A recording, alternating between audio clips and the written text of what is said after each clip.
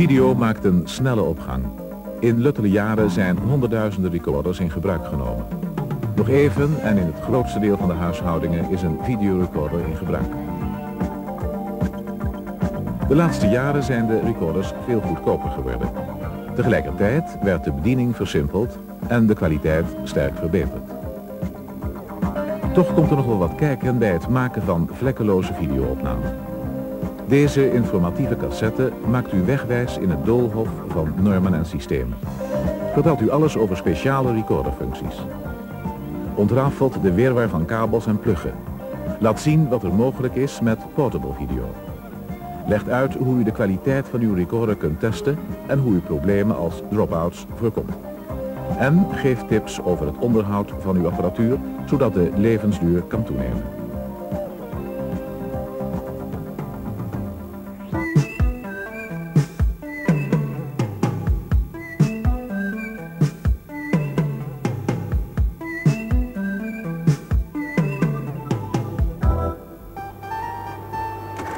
Het is nog maar 20 jaar geleden dat Kodak de eerste Super 8 camera introduceerde. Een toentertijd revolutionair systeem dat het mogelijk maakte zelf beeld en geluid vast te leggen. Slechts een paar minuten per film, maar evengoed een vernuftig procedé. Er kleven wel nadelen aan smalfilm. Je moet een poos wachten tot de film uit het lab terugkomt. De montage vraagt extra apparatuur en synchroon geluid is zonder stripen haast onmogelijk. De eerste videorecorders dateren van de jaren 50. Dat waren kolossen van machines, alleen bestemd voor professioneel gebruik bij tv-stations. Al in 1884 bedacht Nipkow een systeem om beeld te vertalen in lijnen die hij aftastte met gaatjes in een schijf. Het principe van de huidige tv-techniek heeft er veel van weg. Alleen is er gelukkig een hoop verbeterd. Het duurde tot de jaren 70 voor de industrie met de eerste videorecorders voor consumenten op de proppen kwam. Alleen in zwart-wit. Lastig te bedienen, heel duur en bepaald niet erg bedrijfszeker. Nu komt er ook wel heel wat kijken bij het vastleggen van tv-beelden. Per seconde moet een videorecorder 50 keer een half beeld opbouwen van 625 lijntjes. Dat betekent dat de machine een onvoorstelbare gegevensvloed heeft te verwerken. Om een voorbeeld te geven, Hi-fi geluid kun je vastleggen met een frequentie van 20.000 hertz. Voor video is een frequentiebereik van ruim 3 miljoen hertz nodig. Honderden keren zoveel. Om dat op te nemen met een stilstaande kop... zou de band met een snelheid van 5 meter per seconde voorbij moeten razen. Dat kan natuurlijk niet. Want dan heeft de band een speelduur van minder dan 1 minuut. Videokoppen staan dus niet stil. Ze draaien razendsnel rond met zo'n 1500 toeren per minuut. Daardoor is het mogelijk dat de band nauwelijks 2 centimeter per seconde loopt, terwijl toch die 3 miljoen hertz goed worden opgetekend. Als u goed kijkt, ziet u dat de koppentrommel enigszins schuin is geplaatst ten opzichte van de band. In de trommel zitten meestal twee koppen, precies tegenover elkaar. Op de band tekenen ze om beurten hun diagonale spoor op.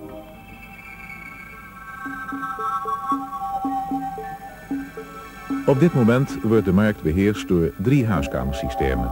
VHS, Beta en V2000. VHS heeft wereldwijd het grootste marktaandeel. VHS, Beta en V2000 zijn algemeen geaccepteerd als goede systemen. De verschillen in kwaliteit en prijs zijn klein, maar toch niet onbelangrijk. Het VHS-systeem is uitgevonden door JVC in Japan. De maximale speelduur van een VHS-tape is 4 uur met E240 cassettes. Er zijn inmiddels ook VHS-recorders met halve snelheid, waardoor een speelduur van 8 uur mogelijk is. VHS-banden zijn maar in één richting te bespelen, net als beta. De VHS-band wordt in de recorder in een M-vormige lus uit de cassette getrokken en om de videokop gelegd. Dat duurt een paar seconden. Tijdens snelspoelen verdwijnt de band eerst weer in de cassette, waardoor vrij weinig slijtage optreedt van band en kop. De bandsnelheid is 2,34 cm per seconde, zodat de geluidsweergave iets beter is dan de wat tragere beta. VHS is het meest populaire systeem. In videotheken zijn voorbespeelde banden vrijwel altijd op VHS te krijgen en niet altijd op V2000 en Beta.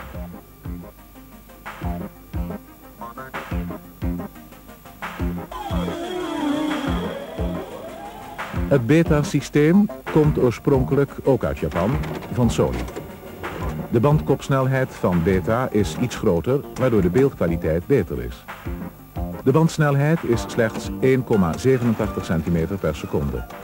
Daardoor is het bandverbruik laag en dus goedkoper per minuut. Het inlussen van een betaband gebeurt doorgaans direct na het inleggen van de band. Tijdens snelspoelen blijft de band ingelust. Daarom was Sony de eerste met huiskamerrecorders die tijdens snelspoelen nog een herkenbaar beeld te zien geven. Dankzij allerlei trucs zijn die cue- en review mogelijkheden de laatste tijd geperfectioneerd. Daar komen we straks nog op terug. De beta-cassette is de kleinste van de drie systemen.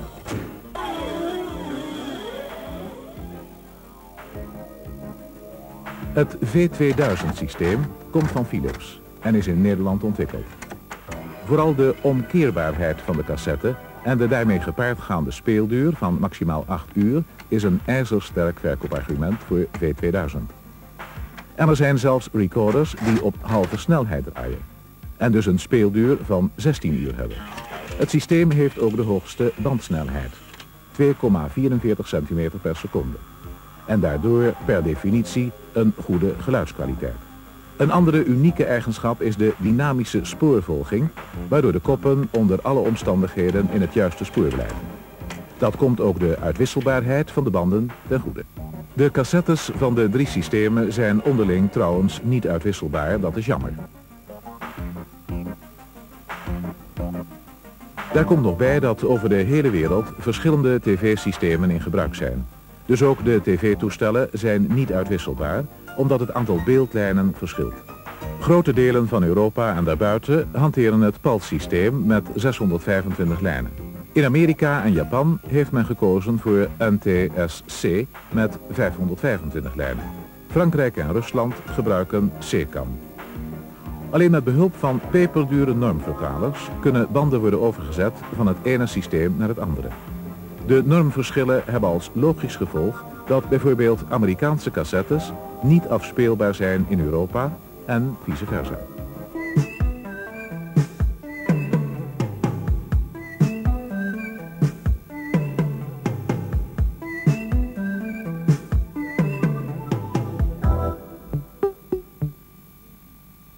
Voordat u een videorecorder in gebruik kunt stellen, heeft u met allerlei kabeltjes te maken.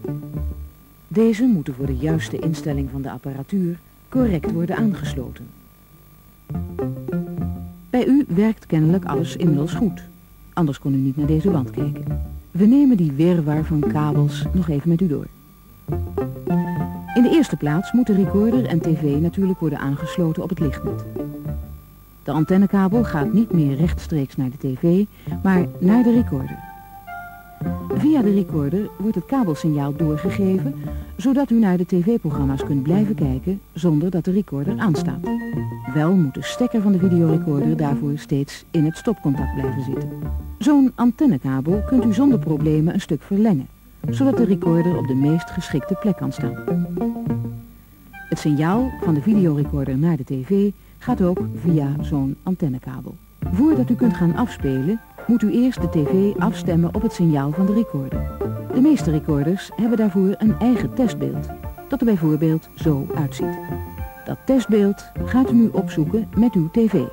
Het signaal zit doorgaans ergens in de UHF-band. Nieuwe tv's hebben tegenwoordig een AV-ingang. Als u die gebruikt, is de beeldkwaliteit beter dan via de antenne-ingang.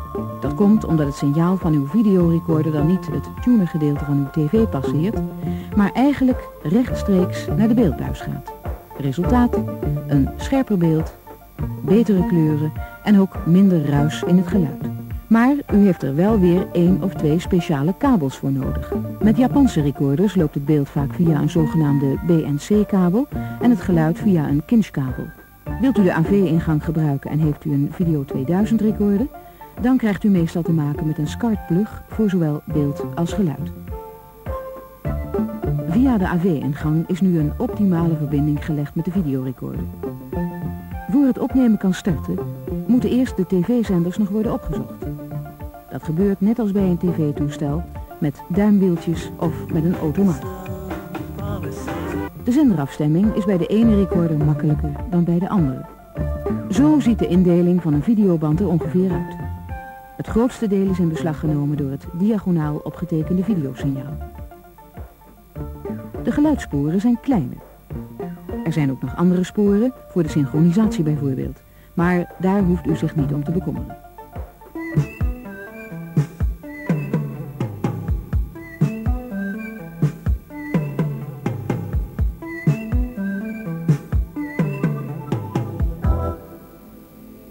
Er zijn dure en goedkope videorecorders.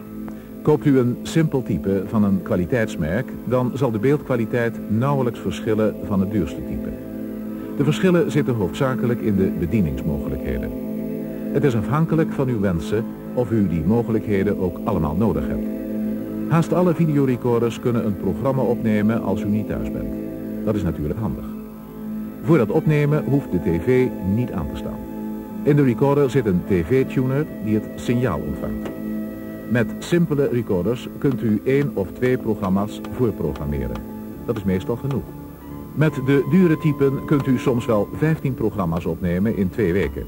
Heel mooi natuurlijk. Maar het praktische nut van zo'n functie is klein. Want de speelduur van de tape is nu eenmaal beperkt tot enkele uren. En u kunt nergens opzoeken welke programma's er over twee weken worden uitgezonden. Programmeren lijkt moeilijk. Vooral de eerste keer. In de praktijk valt het mee. Lees eerst de gebruiksaanwijzing en volg de instructies stap voor stap. Versneld heen en weer draaien met behoud van beeld is heel handig. Met name voor het opsporen van fragmenten op de tape. Videorecorders met vier in plaats van twee koppen kunnen met tienmaal de normale snelheid een beter herkenbaar beeld geven. Ook zijn dan slow motions en freeze frames mooier. Wel verschijnen er tijdens cue en review nog horizontale stoorbalken in beeld, maar dat is niet zo'n ramp. De kwaliteit van de V2000 recorders is op dit gebied het beste. Dat ligt aan de dynamische spoorvolging. Slow motions zijn aardig voor het analyseren van sportevenementen en dergelijke. Zelfs volkomen stilstaande beelden behoren tot de mogelijkheden.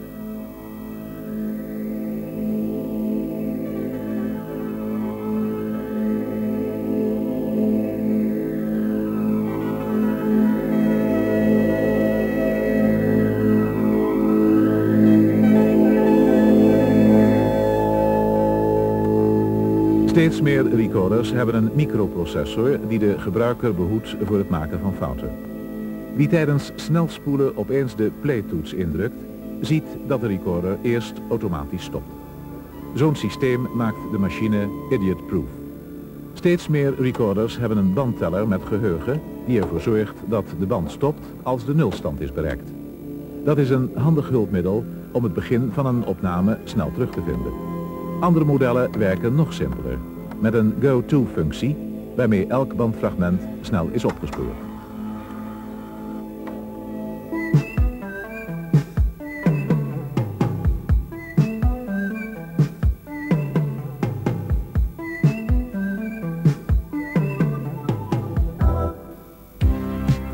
Het geluid van videorecorders is meestal nogal matig. Dat komt omdat het wordt geregistreerd met een stationair audiokopje. Tel daarbij de lage tapesnelheden van rond de 2 cm per seconde en je realiseert je dat het geen wonder is dat het geluid nog te wensen overlaat. De breedte van de audiospoortjes is heel klein. Ongeveer de helft van een audiocassette. Vooral als u het geluid van uw videorecorder via uw stereo-installatie afspeelt, wordt pijnlijk duidelijk hoeveel ruis en hoe weinig hoog de recorder produceert. Daar is natuurlijk wel wat aan te doen. Steeds meer machines zijn uitgerust met Dolby ruisonderdrukking die korte metten maakt met ruis. Er verschijnen al steeds meer recorders met stereogeluid. In Duitsland verzorgt de omroep inmiddels regelmatig uitzendingen met stereogeluid. In andere delen van Europa is het nog even wachten geblazen. En dan de laatste ontwikkeling op audiogebied die definitief een eind maakt aan het matige geluid van video, hi-fi recorders. Die registreren het geluid via de draaiende koppentrommel met daarop aparte audiokopjes. Daardoor is een geluidskwaliteit mogelijk die bijna op het niveau staat van de compactdisc. En dat in stereo. Het frequentiebereik loopt van 20 tot 20.000 hertz. De dynamiek is ruim 80 dB. Dat is beter dan de beste audiocassetten Het geluid wordt ook op de conventionele manier geregistreerd. Dus blijven de tapes uitwisselbaar. Digitaal geluid is het systeem van de toekomst. Diverse fabrikanten spelen op die ontwikkeling in.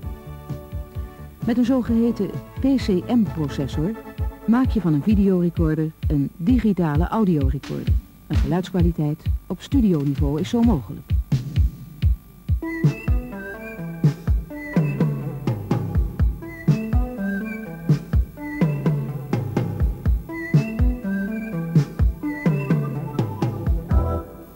Al heeft de fabrikant nog zo zijn best gedaan een videorecorder te perfectioneren, de uiteindelijke kwaliteit is toch afhankelijk van de videocassette zelf.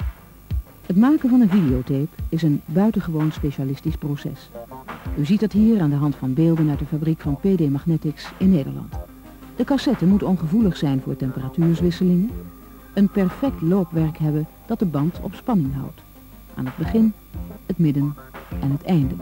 Ook na 100 keer afspelen.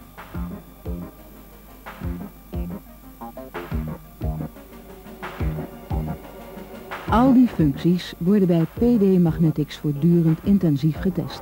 Er is een eigen laboratorium waar elektronische metingen worden verricht. Hygiëne in zo'n tapefabriek wordt met een hoofdletter geschreven. Wie er binnenkomt wordt onveranderlijk in een stofvrij maanpak gehuld en door zuiverende sluizen geleid. Het loont de moeite om kwaliteitstapes te gebruiken in uw dure recorder. Met super high-grade cassettes bereikt u de allerbeste kwaliteit. Niet alleen is de beeldkwaliteit beter, ook de levensduur van de videokoppen neemt erdoor toe. Laat u in ieder geval niet verleiden door aantrekkelijke aanbiedingen van vervalsers.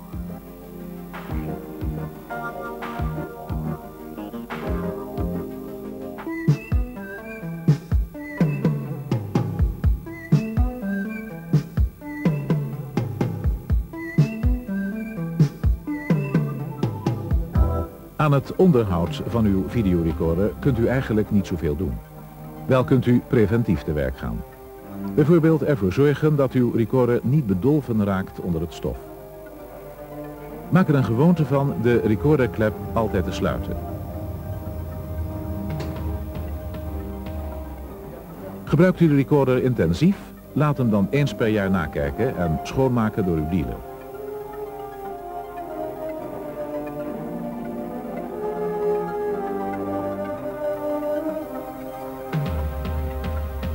Gebruik in ieder geval nooit reinigingstapes.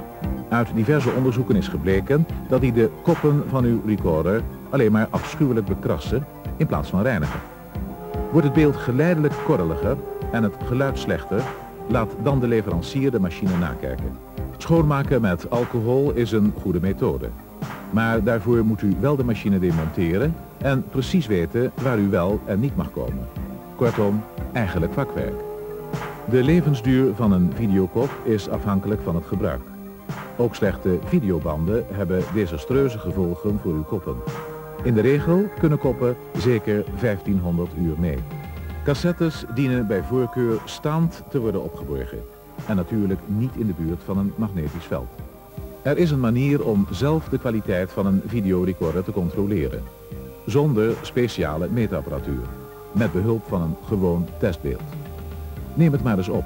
U zult zien dat de kwaliteit terugloopt. Dat komt omdat het OpenNet beelden met 625 beeldlijnen aanbiedt. Terwijl uw recorder er minder kan vastleggen. In ieder geval moeten de kleur en helderheid goed worden gereproduceerd. Ziet het testbeeld eruit als een ei, dan ligt dat aan de tv. Zijn de kleuren schimmig, dan is de recorder oorzaak. De twee vlakjes met verticale lijnen aan de rechterzijde mogen bibberen, dat is niets bijzonders. Ziet u allemaal spikkels voorbij komen, dan zijn dat drop-outs. Kleine bandbeschadigingen die storing veroorzaken. Dat gebeurt vooral met slechte, goedkope tapes. Niet zoals veel mensen denken als u een freeze frame langdurig stil laat staan, omdat de kop dan steeds op dezelfde plek tegen de band schuurt. Het veelvuldig afspelen van banden leidt evenmin tot beschadigingen.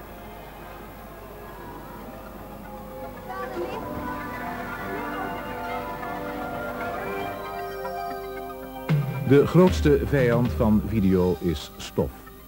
Leg dus nooit een band zomaar op uw hoogpolige tapijt. Dat is funest. En zorg er daarnaast voor dat u etiketten alleen plakt op de aangegeven plaatsen, anders gaat er in de recorder iets mis.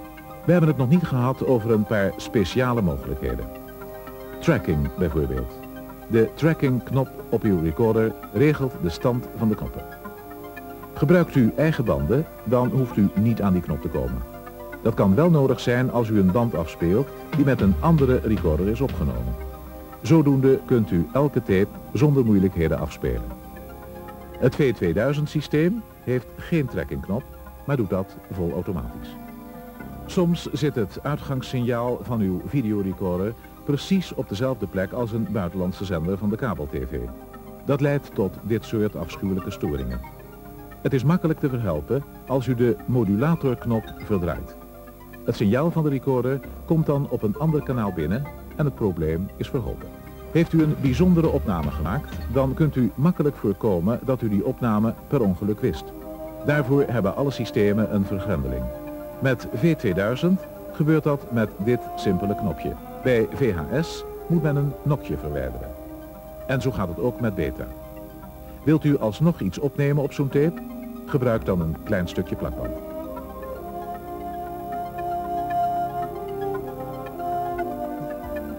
De mogelijkheden van video zijn onbeperkt. En de grenzen van de technologische ontwikkeling zijn nog niet in zicht. Effecten, die nu alleen nog bij zeer gespecialiseerde videomontagebedrijven kunnen worden gemaakt, zullen over luttele jaren ook voor hobbyisten beschikbaar zijn. Met inventiviteit is een flink deel van wat in de professionele sector kan, straks ook mogelijk op amateurniveau. Dat is een geweldige uitdaging. Vandaag 8 mm video, morgen weer iets anders. Video is fascinerend en voortdurend in beweging.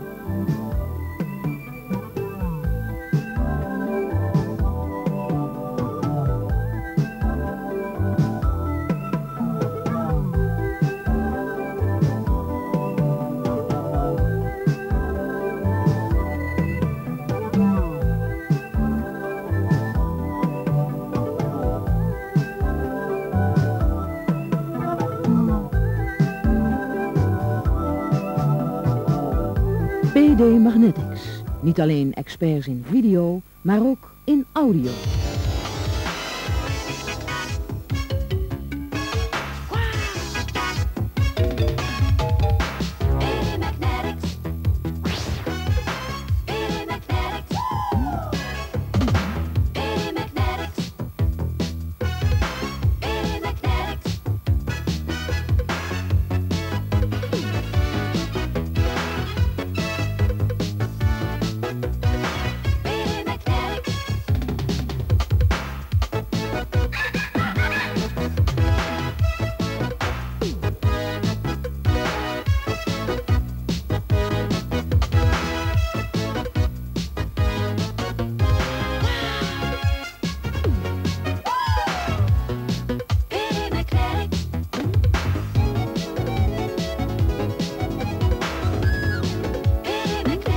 Dat is nou de onweerstaanbare aantrekkingskracht van PD Magnetics.